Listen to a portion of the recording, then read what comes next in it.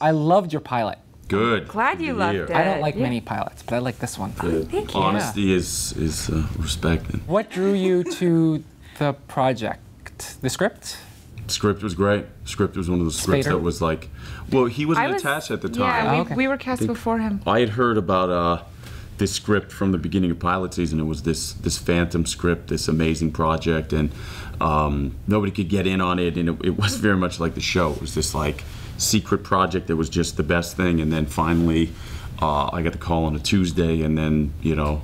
By, I mean, I read it right away and said, you, "I have to get on this here." So I don't know how you came about it. Well, the minute I read it, it Elizabeth Keen, my character, just jumped off the page. She was uh, heroic but vulnerable. You didn't know if she could do it, but she really tried, and she pulled some things off that were kind of out of her wheelhouse. And so she was this kind of the first fe- co- complicated female hero I'd read in, in a long time. Mm-hmm. It's hard to find roles like that as a young woman, and so I felt this ownership over her like immediately. I just i wanted to kind of be able to live with her for a long time. And i did for that week before i met with joe carnahan who directed it and john bokenkamp the creator and john eisendrath. And i when i when i did have that meeting there was all this energy just kind of running through me and running through my body that i just think because i was just infused with the story and the character And working with James, it, it, the chemistry between you guys is great.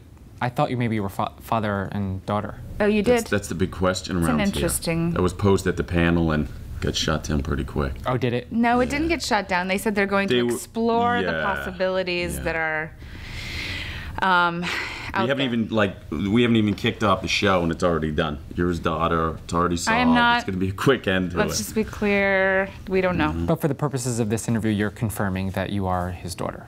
No, No. no. You got all serious. there for a second. Sorry. See that? Um, and Diego, are we going to see you on Homeland at yes, all? you will. Oh, so That's we'll it. get a- we'll get That's all this- you're getting. I'm not Brody's son. I'm not his lover. That's it. I'm Hailee Steinfeld, and you're watching ENTV. Hi, my name is Kiernan Shipka, and you're watching ENTV. Aubrey Plaza, ENTV. I just touched it with my mouth, sorry.